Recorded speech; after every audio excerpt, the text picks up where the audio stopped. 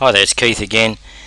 Uh, This video is about the site info tab and we've already been through that in terms of the uh, the video we put up showing the whole process of building a site. So it's it, there's nothing's changed according to that.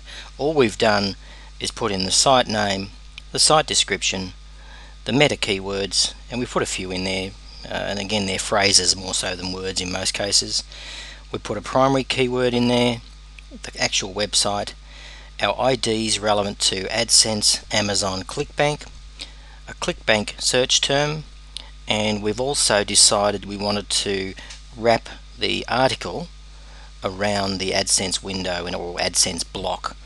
So very simple, very straightforward, and if you use the cheat sheet, cheat sheet, can't say the word, uh, process that we um, have already shown you previously, uh, this is really, really simple and straightforward.